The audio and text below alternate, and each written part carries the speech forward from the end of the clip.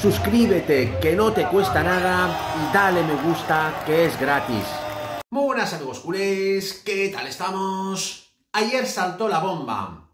Ousmane Dembélé jugará en el Paris Saint-Germain la próxima temporada. Todos eh, daban por hecho antes que Xavi lo iba a convencer de seguir en el Barcelona. Él también insinuó que ama al club y que va a seguir y que se va a sacrificar y que va a bajar la ficha, tal y cual. Pero resulta que estaban negociando a estar en el Barcelona con su agente Moussa Sissoko y han llegado a un acuerdo incluso antes de viajar a la gira de Estados Unidos. El acuerdo de Dembélé con el PSG está cerrado, jugará en el club de la capital francesa para las siguientes cuatro o cinco temporadas y cobrará 18 millones en cada una de ellas. Pues bien, sabemos eh, la historia del fichaje de Dembélé por el Barcelona. Lo fichó Bartomeu en el 2017, cuando se fue Neymar eh, al Paris Saint-Germain, y pagó el Barça por él una cifra de nada más y nada menos que 145 millones más 5 en variables al Borussia Dortmund. Es decir, en total, 150 millones. A día de hoy es el segundo fichaje más caro de la historia del club. Solamente lo supera Philippe Coutinho con 165 millones de euros. Y todos los culés sabemos la historia y la, trayectoria de Ousmane Dembélé en el Barcelona a lo largo de estos seis años. Lesión tras lesión, conductas que no son adecuadas, eh, falta de, compromiso, también eh, llegaba cada, cada, cada dos por tres tarde a los entrenamientos, dormía mal, etc. Es decir, que esas lesiones que ha tenido, según los expertos, no son fortuitas, sino por causa de su mala conducta y de la mala vida que ha llevado durante años en el Barcelona. Eso sí, cobrando sus 13 millones netos cada Ahora muchos culés se preguntan del por qué el Barça solamente lo renovó por una cláusula tan baja de 50 millones, no sé qué, no sé cuál. Pues señoras y señores, la culpa la tiene un hombre que se llama Xavi Hernández y es el actual entrenador del Barcelona. Laporta no lo quiso renovar el año pasado, no lo quería.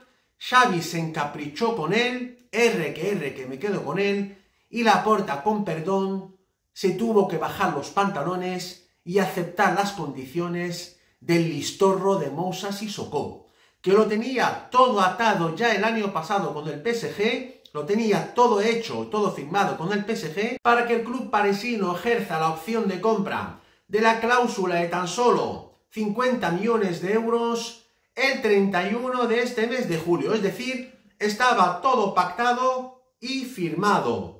Yo sinceramente pienso que la puerta a veces es demasiado bueno, la verdad. Es que es demasiado bueno.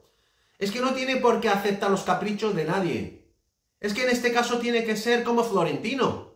Y lo siento, pero es que lo digo así de claro. La porta tiene que mandar y no tiene que ser bueno y aceptar los caprichos de los entrenadores, sean de Xavi o sean de otros. Quien mando soy yo, ¿eh? soy el presidente y yo quien tomo las decisiones. Y tú, zapatero, a sus zapatos, a entrenar y a ganarme los títulos. Y quien debo decidir, sobre todo, soy yo. Para eso soy el presidente del club. Y si no, pues la dirección deportiva. Es quien ficha. Yo creo que la porta, y estoy seguro que va a aprender de esta, ¿eh? No tengo ninguna duda que a partir de ahora la porta va a tomar sus propias decisiones referente a los fichajes. Ahí lo dejo.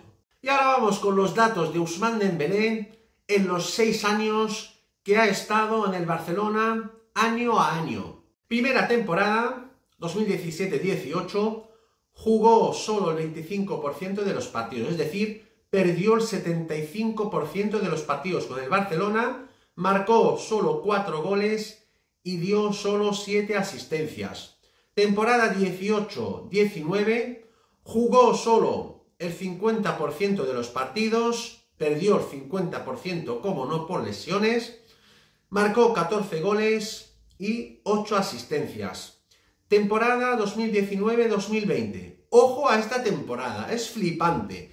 Jugó el 10% de los partidos, es decir, el 90% de los partidos de ese año no los jugó. Es decir, casi toda la temporada lesionado, marcó un gol, un gol en todo el año de la temporada 19-20 y cero asistencias. Cobra, y, cobraba 13 millones netos, Bartomeu, raca, raca, sacando dinero, eh, pagando jugadores de, vamos, de este perfil. Ahora vamos con la temporada 2020-2021. Ha jugado el 50% de los partidos, los otros 50% estaba lesionado, como siempre, 11 goles y 5 asistencias. Temporada 2021-2022. Jugó solo el 34% de los partidos, el resto lesionado, dos golitos en todo el año y 13 asistencias. Y la temporada pasada, según muchos, hasta según Xavi, la gran temporada de Dembélé, la, la, 2022-2023, es decir, la pasada temporada, jugó solo el 40, el 47% de los partidos. El resto lesionado, marcó solo 8 goles y 9 asistencias. El global de los seis años que estaba Dembélé en el Barcelona, ¿sabéis cuántos goles ha marcado? 40 goles. En seis años, 40 goles. Un jugador que costó 150 millones de euros y que cobraba 13 millones netos al año. Y 42 asistencias. Pues bien, estas son las supercifras de Usman Dembélé en los seis años que ha estado en el Barcelona y el jugador que se encaprichó por el Xavi y que el pobre de la Porta hizo lo que hizo para complacer el deseo de Xavi. Y vamos al tema principal de hoy. Bombazo de última hora desde París. Una fuente de la capital gala muy importante y cercana al PSG acaba de informar que el Paris Saint-Germain quiere meter en la operación del fichaje de Dembélé a Neymar Jr. como trueque. La misma fuente asegura que el Barcelona no ve mal este trueque y está negociando ahora mismo con la liga ajustar la nueva ficha del crack brasileño. Y la misma fuente va a más, afirma que Neymar Jr. está dispuesto a rebajar su salario para cumplir su sueño de regresar a la que fue su casa, nuestro querido Barcelona, en este mismo verano. Yo en este caso, pues voy a ser sincero como siempre. Si es el Neymar del Barcelona, ¿eh? el crack que ha estado en el Barça y de las primeras temporadas con el PSG, pues bienvenido sea. Es más, yo estoy seguro que Xavi va a ser capaz de sacar lo mejor de él para que vuelva a ser el crack mundial que ha sido antes Neymar Jr. Esta ha sido mi grandísima noticia de hoy, amigos culés. No os olvidéis suscribirse a mi canal, que no os cuesta nada. Pulsar un like como siempre y dejarme comentarios para cambiar opiniones. Muchas gracias. Forza Barça por siempre. Vamos a por todas. Y nos vemos muy pronto en mi próximo vídeo. ¡Vamos!